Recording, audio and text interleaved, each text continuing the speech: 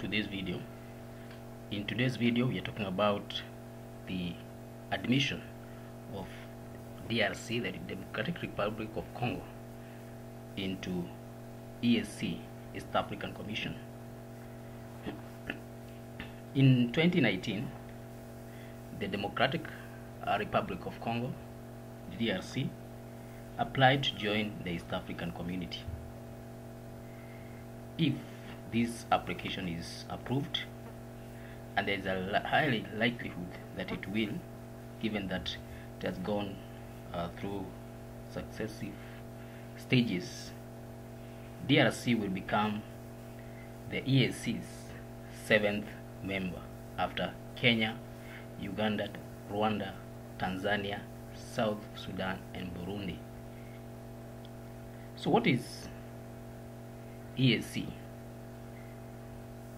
And what does it do? And why is DRC interested in joining this uh, organization?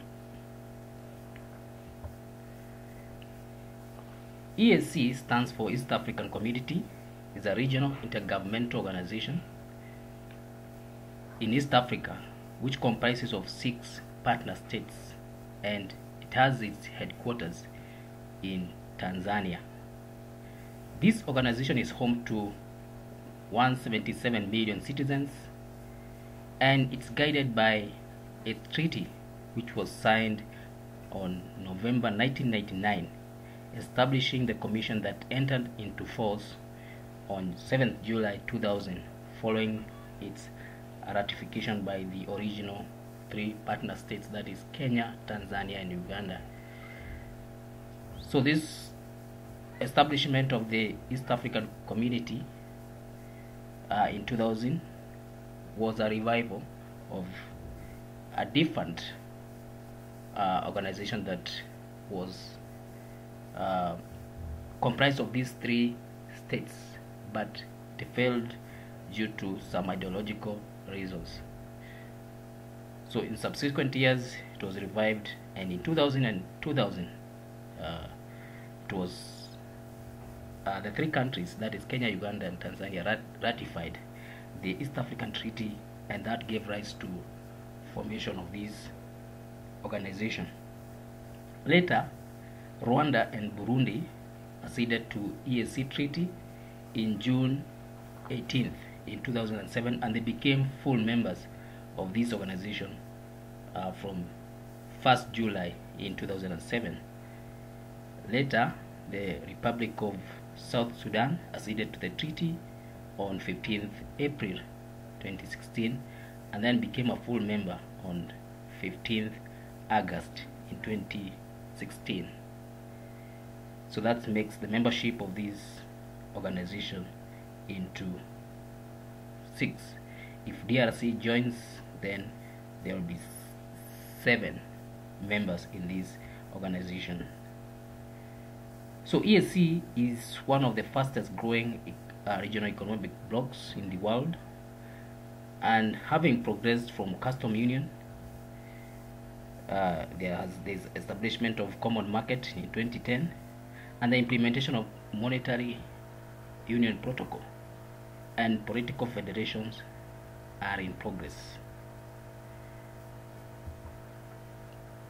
So looking at the integration pillars or what EAC aims at started with custom union then moved to com- uh, common market.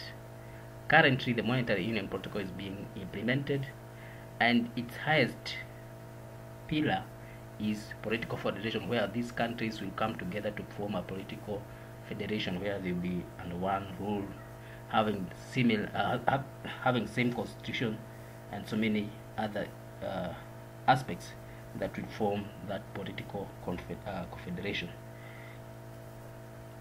So the common, starting with the common uh,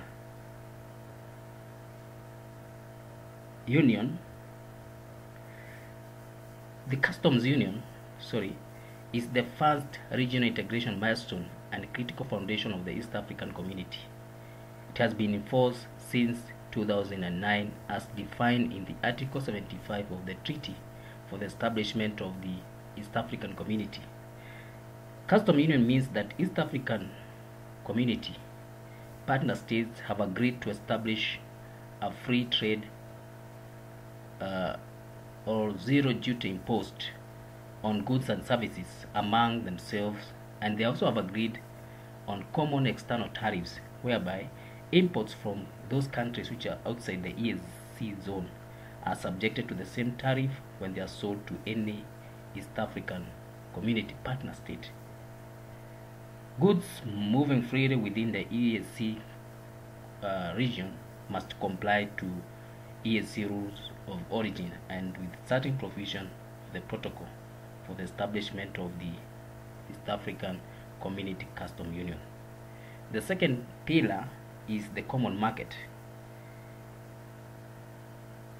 and it has been enforced since 2010 in line with the provision of the ESC treaty. It's the one that follows custom union and custom union became fully fledged in January 2010 and that's where common market now kicked off. So the aim of this custom mar common market is to accelerate economic growth and development. It basically means that the East African Community Partner States may have to maintain a liberal stance towards the four freedom of movement for all factors of production and tool rights between themselves. So these freedoms and rights include East African citizens are free to move from one region to the other. There's guaranteed free movement of goods, free movement of persons, free movement of labor or workers, right of, of establishment, right of residence, free movement of services, and even free movement of uh, capital.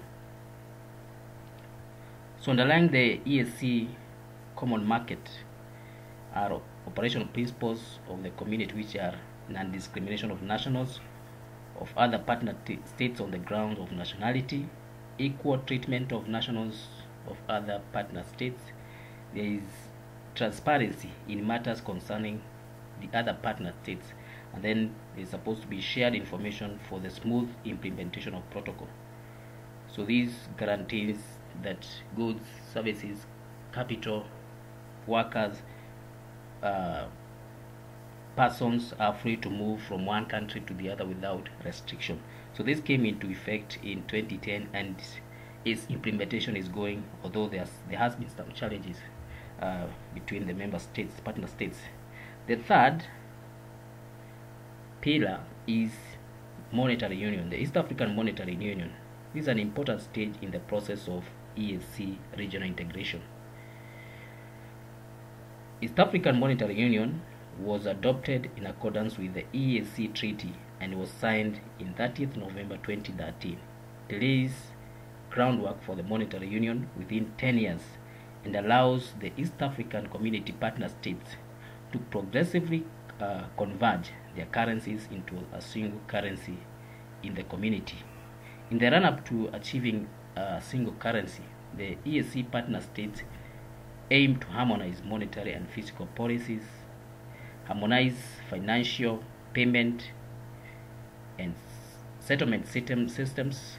There, there is harmonization of financial accounting and reporting practices, harmonization of policies and standards on uh, statistical information, and establishment of East African Central Bank. So this is ongoing. Uh, some of these uh, objectives have been achieved. Others uh, are ongoing, although there's, there, are, there are also some challenges uh, that has occurred as far as of implementation of these pillar is concerned. The highest pillar is political federation, which is the ultimate goal of the EAC regional integration. It comes after custom unions, common market, and monetary union. It is provided for under the Article 5.2 of the Treaty for the establishment of the East African Community and founded on three pillars that is common foreign and security policies, good governance, and effective implementation of the prior stages of the integration that is uh, custom union, common market, and monetary union. So this process has been slow. It has not uh, it has not kicked off in earnest but some steps have been taken up, especially uh, uh, issues to do with the laying groundwork, that is constitution uh, making process. And uh, even in 2017, the East African heads of states uh, adopted the political confederation as a transition model uh, of the East African political federation. So this process is ongoing and uh, soon an announcement will be made on how these will play out. So those are the integration pillars. So EAC aims at becoming one political federation. And the entrance of DRC, we will see how that plays out because that a region that is will be so big. Uh, how it will be managed, that remains a question that needs to be answered. Also, there are other states that are we also interested in joining the East African community. We have Sudan, which had applied to join the community, but its application was rejected because of uh, various issues, including the fact that it's a far off from uh, East Africa. At that time, Sudan, uh, South Sudan has not joined, and also the the upheavals, the upheavals in that country, and also the treatment of uh, citizens, especially those which are of uh, black in that country. Somalia has, had also applied for admission into this uh, organization, but its application has been pending. One, because verification has not been done, and also the turmoil that is in that country, uh, and also prob probably relation its relationship with Kenya has also contributed to uh, this uh, verification process, which has not yet been done. To also help in understanding how the admission of uh, DRC and other countries goes, it's also important to understand how uh, this organization is structured. So let's look at uh, the organs of EAC and probably try to understand uh, the process that this uh, application will go through. So this application is an application for a country to join the EAC is supposed to uh, move in stages. So for, for us to be able to understand uh, the organs that are, are, are, are, I mean that play out, it's important that we look at the organs of the EAC. The main organ of EAC are the summit, we have the Council of Ministers, the Coordinating Committee, the sectoral committees, the East African Court of Justice, and then we have the East African uh, Legislative uh, Assembly, and then we have this, the Secretariat. The summit comprises of the head of government of partner states, and is the body that gives strategic di direction towards the realization of the goal and objectives of the community. So this is the body that will receive the final report on admission of DRC. And when this body makes a decision, then uh, the process that is supposed to be followed after approval will kick off. Then you have the Council of Ministers. This comprises of the uh, ministers from uh, various uh, ministry, especially ministries which are charged or with the role of, uh, I mean, East African community. Then we have the coordinating committee, the sectoral committee. We have the East African Court of Justice, which is also very important.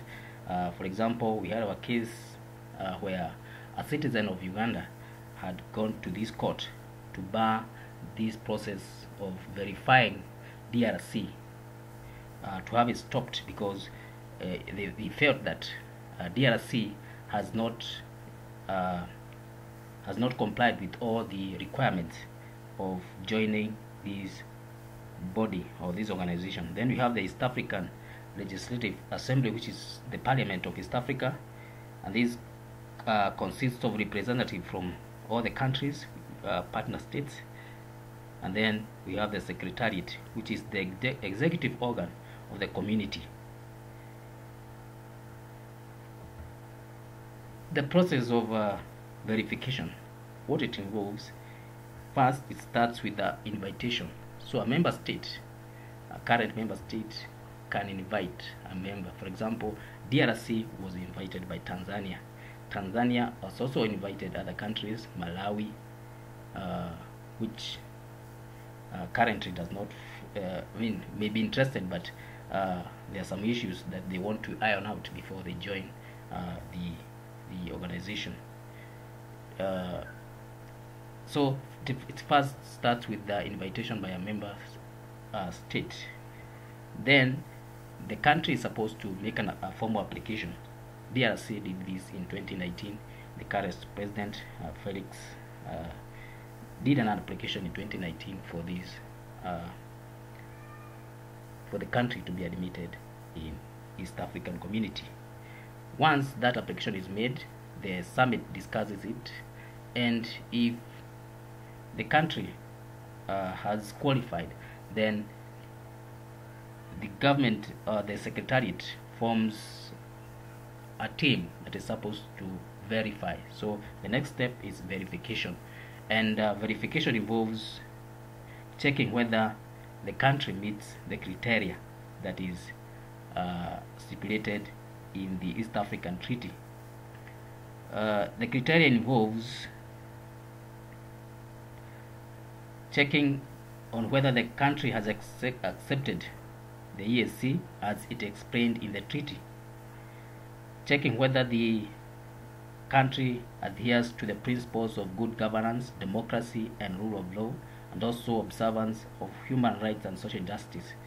This is one area that uh, the Ugandan lawyer uh, was quoting when he was taking uh, when when he when he appealed to the Court of uh, Justice, the East African Court of Justice, to reject the verification of DRC because he felt that this DRC has, had not met these criteria.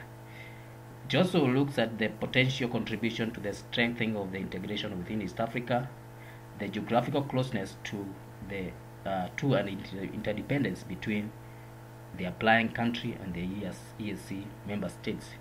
So this criteria that was used to reject the application of Sudan, the, the, the Sudan, the northern part of the Sudan.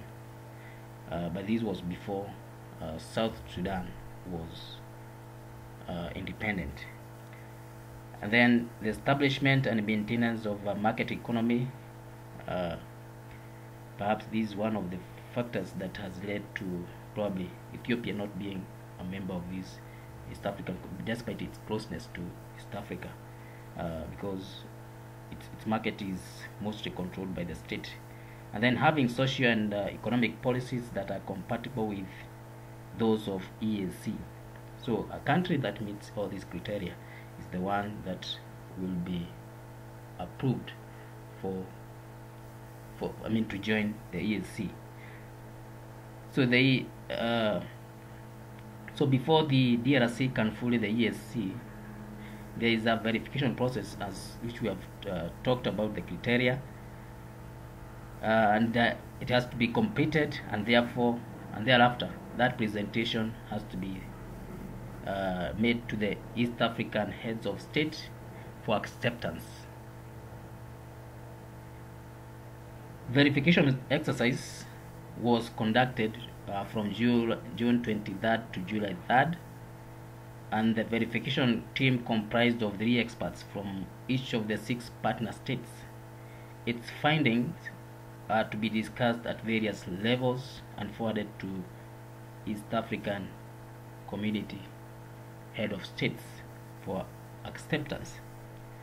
The verification mission reviewed the current state of the DRC with regard to the criteria, that is international law, established, and also all the criteria that have been we have stipulated.